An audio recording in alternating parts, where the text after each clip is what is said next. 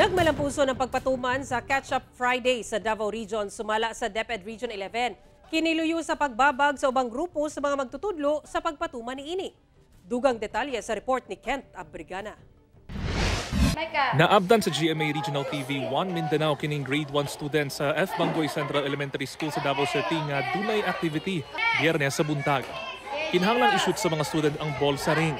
Ang makashoot sa bola, kinahanglang mubasa sa nakaandam nga reading materials.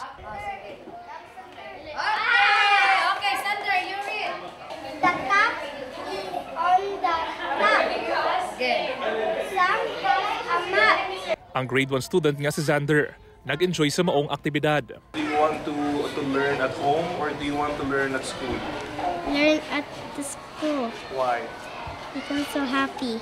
Sumala ni Teacher Cherry, kinikabahin sa ilang Catch-Up Fridays nga programa sa DepEd nga mitubong sa paghatag og gayon sa mga estudyante nga mas mapalambo pa ang ilang academic performance partikular na sa pagbasa.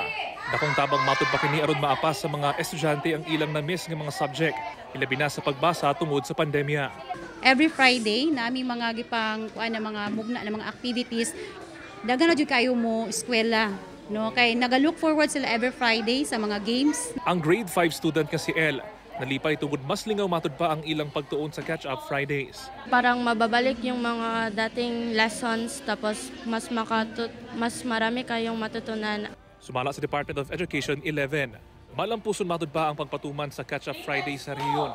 it's uh, actually working very good. Um, dili man pod ni first time pa lang nato apan uh, ikaduhang higayon na kini and uh, ang atong mga magtutudlo that we're actually implementing are uh, already learned of this particular uh, effort. Apan mialma ang grupong Alliance of Concerned Teachers ug Teachers Dignity Coalition sa pagpatuman sa Catch-Up Fridays. Dugang workload ra matod pa kini sa mga magtutudlo.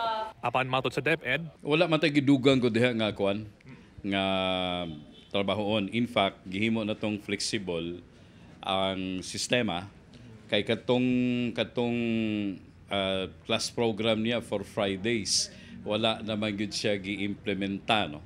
Ah, kundi gipulihan nato aning ah, mas mas ah, engaging ah, sistema for Catch-up Fridays kay ah, kini all performance tasks gani mismo si Vice President ug DepEd Secretary Sara Duterte na ang miingon nga magpadayon ang pagpatuman sa Catch-Up Fridays sa tibuok nasod. Uh, magpadayon siya and uh, doon na pa yung mga improvements na pagabuhaton sa ato ang Catch Up Fridays. Uh, dili lang ni siya sa reading, science ug math, kundi apil na po diri ang amuang ginasabutan sa Department of Health sa Catch Up Health. Kauban si Mel Colmenares sa kamera. Ako si Kent Abrigana para sa One Mindanao.